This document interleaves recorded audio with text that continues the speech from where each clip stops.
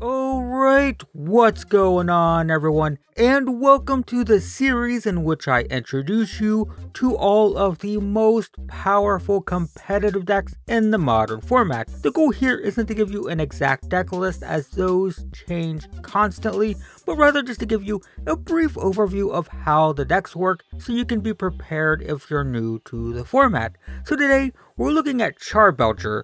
The deck starts with Goblin Charbelcher. It's an artifact that you can tap and then reveal cards off the top of your library until you reveal a land, and then it deals damage equal to the amount of cards revealed. So if you reveal 5 cards and hit a land, deals 5 damage, also deals double damage if you reveal a mountain, but that's not relevant here. But basically, reveal cards until you hit a land, deal damage based on how many cards you reveal. Now, the trick is, this deck doesn't play any lands. A surprise, no lands. I'm not joking, that's not a not an exaggeration. Plays zero lands. Kind of. You see the deck uses the double-faced lands from Zendikar Rising. These are all lands, right? They look like lands, you play them like lands. These are perfectly normal lands, except that they're not lands because these are the backsides of, you know, random spells. So when you activate Goblin Charbelcher, technically it is the front side that the Charbelcher sees. So the Belcher just sees instant sorceries and creatures, right?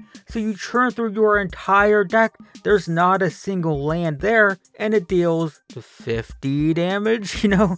It does a lot of damage because there is a special rule. If you flip over your entire library and you don't see a single single land, then it just deals damage based on, well, your library count basically. You don't see a land and it just deals damage based on the number of revealed cards, which is your entire library. So that's fun. And you know what else is fun? Irencrag Feat. So this is a 4 mana spell that adds 7 mana to your mana pool, but the drawback is you can only cast one more spell this turn. Ironically, Goblin Charbelcher costs 4 to cast and 3 to activate, which is 7 mana. So if you can cast an Irencrag Feat, you can use the 7 mana to cast the Belcher and activate it that turn, meaning you can get this activation off as early as turn 4, except you can get it earlier than turn 4 because the deck also plays things like Strike It Rich, Desperate Ritual, and Pyretic Ritual to ramp itself into the stuff even faster. Basically, you're just trying to chain ritual spells to get to that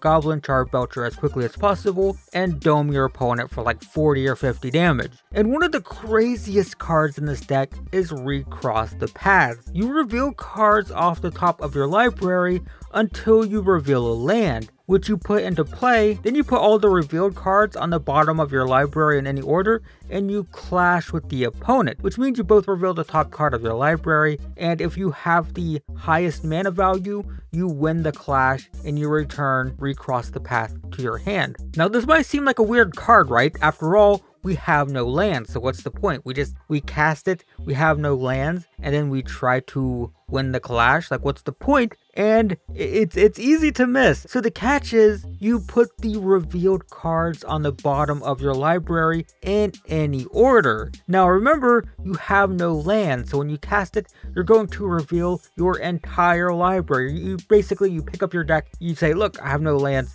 You reveal your entire library, then you put them back in any order. So recross the path is literally three mana to stack your deck. Three mana, rearrange your deck in any order. It's practically cheating, except it isn't because that's just what the card does. So, so three mana, reveal your deck, put them back on the bottom, on the bottom, which there is no bottom because your entire deck is revealed in any order. So stack your deck. Three mana, stack your deck. So Recross the Path has a couple of uses. The most obvious is you just use it to get combo pieces. Grab a Belcher, grab an Irencrag Feat, whatever.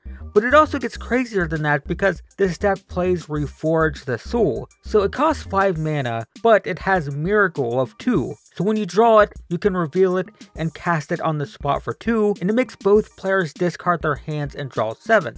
So by itself, combo aside, by itself, this is just a good combo finding card, right? Just draw another 7, looking for that Charbelcher, whatever. So perfectly reasonable by itself, but it gets more powerful with crossing the paths because you can basically build your own hand. When you stack your deck, with the green spell, you literally find seven cards that you want to be in your hand, you put them on top, and then you put Reforge the Soul on top. Then the next turn, you draw Reforge the Soul, you reveal it, pay two, and then you put the other six cards in your hand. So recross the paths basically becomes not only stack your entire deck, but stack your hand as well it becomes you recross the paths, you reforge the soul, and then you build your own hand. And this, by the way, is why there are lots of singleton cards like Pact of the Titan, Infernal Plunge, Pyromancer Ascension. These are all mostly used for these reforge the soul plays because there are actually like preset,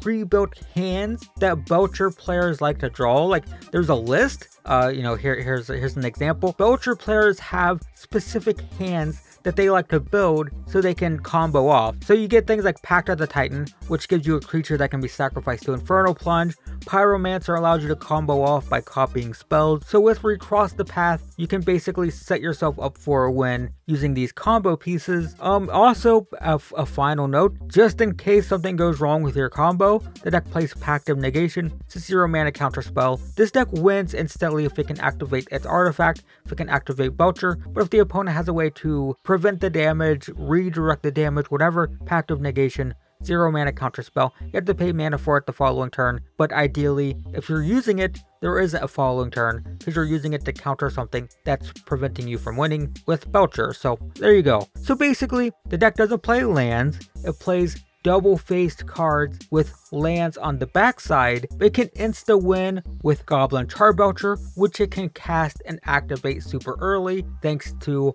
ritual spells, and Irencrag Feat, and then it has some crazy nonsense deck manipulation which allows it to literally stack its deck however it wants. That's Goblin Charbelcher. The deck can shoot you in the face for 50 damage in just a couple turns, so that's something to be aware of. If, if you see your opponent exclusively playing double-faced cards, just be aware you can get shot in the face for 50 damage at any moment. Just, uh, you know, some, something to be aware of when you see those types of lands. So anyway guys, that's Goblin Charbelcher. If you like this video, I have an entire playlist dedicated to these modern deck guides, and I will leave a link to that in the description below. I'll also leave some links to some metagame tracking websites so you can look at other Goblin Charbelcher decks because decks do change and progress and there are different builds of course. Different players have different preferences so you can always look over those lists yourself. But in the meantime guys, thanks for watching. I hope this video was useful and I will see you in the next one.